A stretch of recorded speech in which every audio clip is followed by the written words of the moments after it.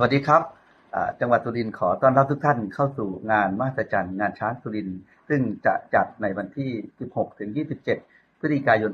2566 ที่จะถึงนี้นะครับ กิจกรรมที่สำคัญเลยก็คือเรื่องของการแสดงความสามารถของช้างนะครับ ในวันที่ 16 พฤศจิกายน ทุกท่านจะได้พบกับ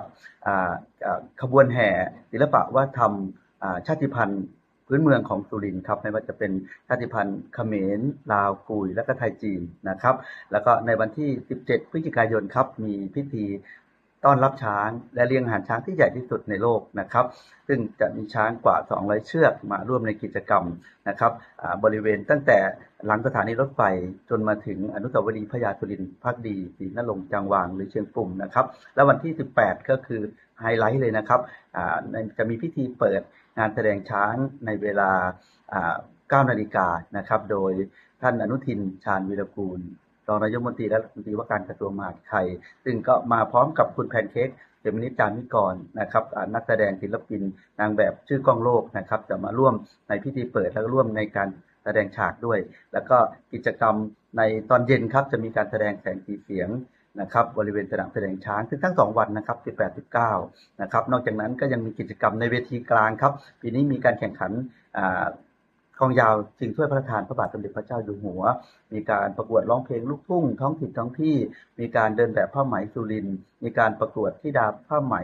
สุรินนะครับ แล้วก็กิจกรรมต่างๆอีกน่าสนใจมากๆ ผมว่าบรรยากาศของปีนี้เป็นบรรยากาศที่คึกคักมากกว่าทุกครั้งนะครับในการนำนักท่องเที่ยวสู่จังหวัดสุรินทร์แต่อย่างไรก็ตามจังหวัดสุรินทร์เราได้ให้ความสำคัญ เกี่ยวกับเรื่องความปลอดภัยของนักท่องเที่ยวครับ เราได้มีคณะกรรมการชุด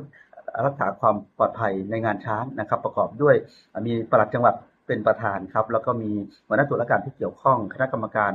ทุกภาคส่วนที่เกี่ยวข้องทั้งตำรวจทหารพลเรือน รวมถึงสมาชิกอสด้วยนะครับ ซึ่งจะได้จัดเวรยามในการดูแลความปลอดภัยให้กับนักท่องเที่ยวภายในงานและภายนอกงานนะครับ โดยภายนอกงานนี้เราจะมีจุดตรวจจุดสกัดทั้ง 4 มุมเมืองทางเข้าเลยนะครับ เพื่อตรวจอาวุธ แล้วก็สิ่งเสพติดต่างๆ รวมทั้งสิ่งที่จะบ่งชี้ว่าจะเกิดอันตรายกับนักท่องเที่ยวนะครับ เพราะนั้นขอเรียกเรียนเชิญทุกท่านนะครับ ได้มาเที่ยวจังหวัดสุรินทร์ด้วยความสบายใจด้วยความปลอดภัยด้วยความสุขนะครับ เรามีโรงแรมเรามีร้านอาหาร เรามีแหล่งท่องเที่ยวต่างๆ มากมาย นะครับ ก็ขอเชิญชวนทั้งพี่น้องทั้งชาวไทยและชาวต่างชาติด้วยนะครับถ้าว่าพี่น้องชาวต่างชาติก็สนใจเยอะซึ่งจะเดินทางกลับมาในช่วงงานช้าง หรือหลังจากงานช้างเสร็จแล้วมา ก็สามารถไปเที่ยวที่หมู่บ้านช้างได้ ยินดีต้อนรับสู่จังหวัดสุรินทร์ครับ